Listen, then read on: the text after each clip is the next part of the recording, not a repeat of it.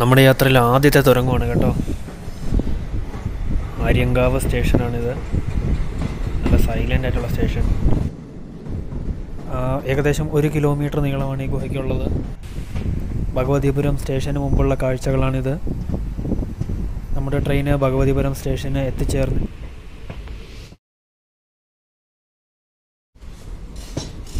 Guys അടുത്ത വീഡിയോയിലേക്ക് സ്വാഗതം. നമ്മൾ ഇന്ന് യാത്ര ചെയ്യുന്നത് കൊല്ലത്ത് നിന്നും സെങ്കോട്ടയിലേക്കാണ്.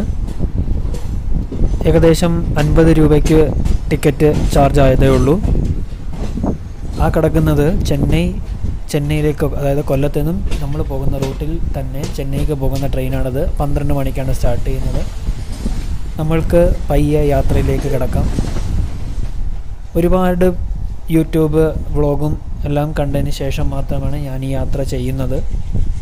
അതുകൊണ്ട് തന്നെ നമ്മുടെ വീഡിയോ കാണുമ്പോൾ എല്ലാവരും കണ്ട് മടുത്ത കാഴ്ചകൾ തന്നെ ആയിരിക്കാം. പക്ഷേ എനിക്ക് ഈ ഒരു റൂട്ടെന്ന് പറയുന്നത് പുതിയ ഒരു അനുഭവമാണ് നമ്മൾ ആദ്യം എത്തിച്ചേരുന്ന കിളികൊല്ലൂർ റെയിൽവേ സ്റ്റേഷനിലാണ് പിന്നെ അടുത്തത് കുണ്ടറ റെയിൽവേ സ്റ്റേഷനിലാണ് അങ്ങനെ അടുത്തടുത്ത റെയിൽവേ സ്റ്റേഷനുകളെല്ലാം താണ്ടി നമ്മൾ യാത്ര ചെയ്യുന്നു.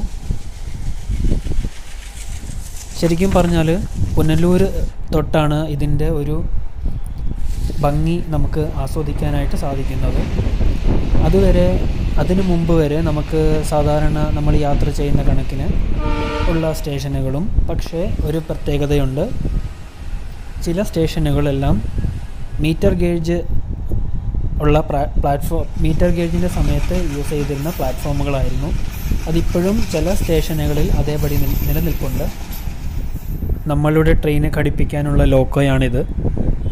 അതായത് മുൻ- മുൻ മുൻപിലും അതേപോലെ ബാക്കിലും ലോക്കോ ഘടിപ്പിക്കും. കാരണം പുനലൂർ മുതൽ ഹൈ റേഞ്ചുകൾ ആരംഭിക്കുകയാണ്.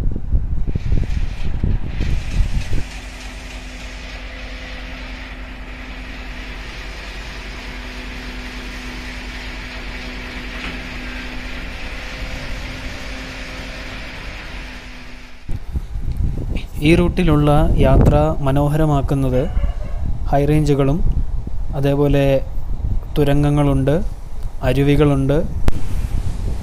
പിന്നെ പറയാനുണ്ടെങ്കിൽ ഈ ട്രെയിനിന്റെ ഒരു പോക്കെന്ന് പറയുന്നത് ഒരു എസ് ആകൃതിയിൽ പോലൊക്കെയാണ് ഇത് പോകുന്നത്. വളഞ്ഞും പുളഞ്ഞും ഒക്കെയുള്ള റെയിൽ പാതകളാണ് ഇതിൽ കാണാൻ സാധിക്കുന്നത്. പുനലൂർ നിന്നും ട്രെയിൻ വിട്ട ശേഷം കാണുന്ന അതേ ആദ്യത്തെ കാഴ്ചയാണ് കല്ലടയാറാണ് കാണുന്നത്. പുനലൂർ ടൗണും നമുക്ക് ആ ഭാഗത്ത് കാണാൻ സാധിക്കും.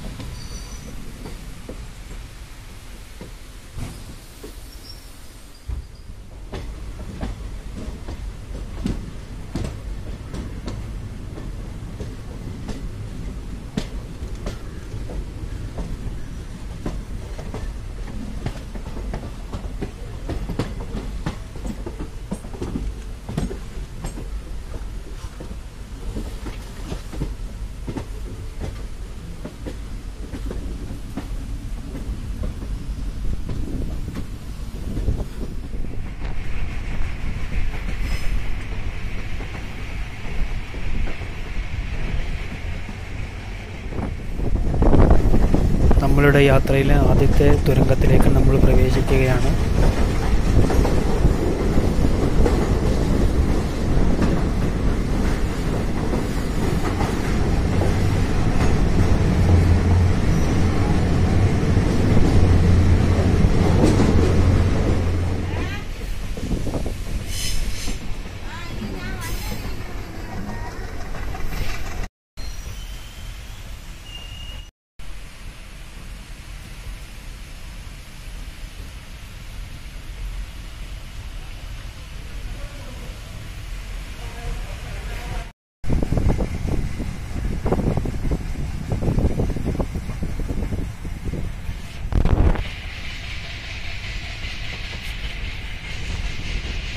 നമ്മൾ കൊല്ലത്ത് നിന്നും സ്റ്റാർട്ട് ചെയ്തപ്പം കാലാവസ്ഥ ശരിക്കും ചൂടും ഒക്കെ കലർന്നതായിരുന്നു. പക്ഷേ നമ്മൾ ഈ ഒരു ബോർഡറിന്റെ അടുത്തൊക്കെ എത്താറായപ്പോഴത്തേനും ക്ലൈമറ്റ് ആകെ മാറിയിട്ടുണ്ട്.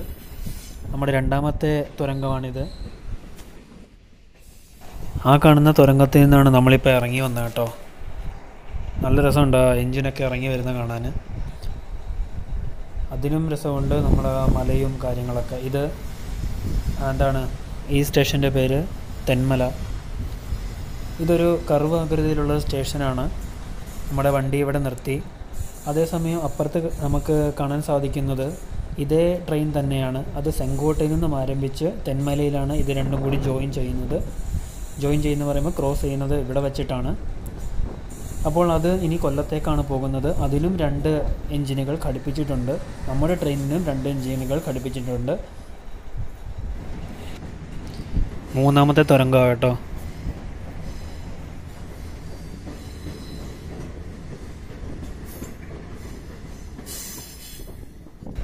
ഇവിടെ തൊട്ടടുത്തായി രണ്ട് രണ്ട് തുരങ്ക രണ്ട് തുരങ്കങ്ങളാണുള്ളത്. അപ്പോൾ ഒരെണ്ണത്തിൽ നിന്ന് ഇറങ്ങി നമ്മൾ നേരെ അതിലേക്ക് കയറുകയാണ്. അപ്പോൾ അടുത്തടുത്ത് രണ്ടെണ്ണം ഉണ്ട്. തന്മല കഴിഞ്ഞ് വരുമ്പോൾ കാണുന്ന കാഴ്ചയാണിത്. രണ്ടെണ്ണം അടുപ്പിച്ചുള്ള തുരങ്കം.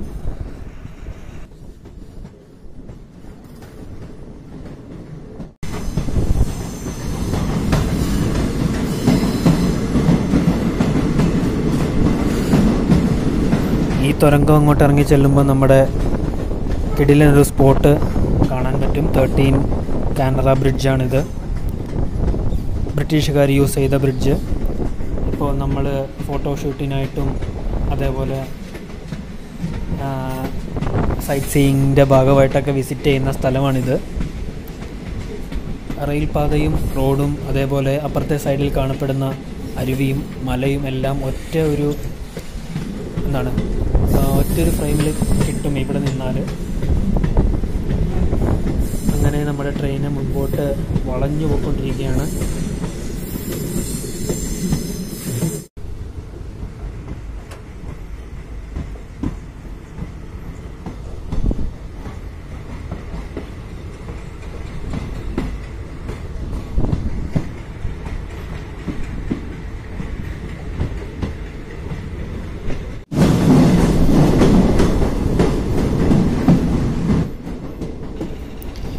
ഇത് ഈ ഒരു തുരങ്കത്തിന് ഒരു ഒരു കിലോമീറ്ററിനോളം ദൂരം ഉണ്ടെന്നാണ് തോന്നുന്നത്. ഇത് അങ്ങോട്ട് ക്രോസ് ചെയ്ത് കഴിയുമ്പോൾ നമ്മൾ തമിഴ്നാട്ടിലേക്ക് എന്റർ ചെയ്യുവാണ്.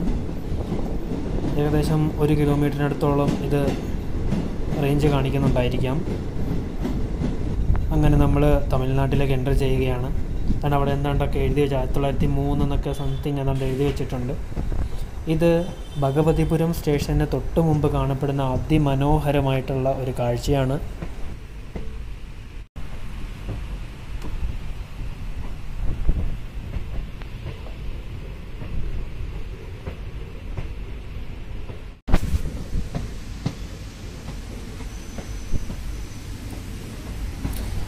അവിടെ എത്തിയപ്പം ഈ ഒരു സീനറിയാണ് എന്നെ ഏറ്റവും കൂടുതൽ ആകർഷിച്ചത്. അതായത് അവിടെ ഇവിടെയൊക്കെ പിടി പറ്റി പിടിച്ചിരിക്കുന്ന മേഘങ്ങളും അതിന്റെ ബാക്ക്ഗ്രൗണ്ടിൽ ആ മലകളും അതേപോലെ നെൽകൃഷിയും എല്ലാം നല്ല അടിപൊളിയായിട്ട് നമുക്ക് കൺ കണ്ണിന് കുളിർമ നൽകുന്ന കാഴ്ചയാണ് സമ്മാനിച്ചത്. തമിഴ്നാട്ടിലേക്ക് എന്റർ ചെയ്യുമ്പോൾ ആദ്യം എത്തിച്ചേരുന്നത് ഭഗവതിപുരം സ്റ്റേഷനാണ്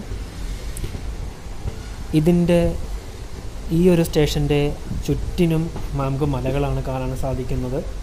ഒരു മലകളാൽ ചുറ്റപ്പെട്ട ഒരു സ്റ്റേഷൻ കൂടിയാണ് ഈ ഭഗവതിപുരം. നെയിം ബോർഡ് ശ്രദ്ധിക്കുകയാണെങ്കിൽ മലയാളം ഹിന്ദി ഇംഗ്ലീഷ് എന്നുള്ളത് മാറിയിട്ട് തമിഴ് ഹിന്ദി ഇംഗ്ലീഷ് എന്ന ഒരു ലാംഗ്വേജസ് നമുക്ക് ആ ബോർഡിൽ കാണാൻ സാധിക്കും. പിന്നെ നമ്മൾ കയറി വന്ന മലകളാണ് കാണുന്നത്. പിന്നെ ആ ബാക്ക്ഗ്രൗണ്ടിൽ കാണപ്പെടുന്ന മലകളും നെൽ നെൽപ്പാടവും എല്ലാം ചേർന്ന ഒരു അടിപൊളി ഒരു ചെറിയൊരു പ്ലേസാണ് ഈ ഒരു ഭഗവതിപുരം എന്ന് പറയുന്നത്.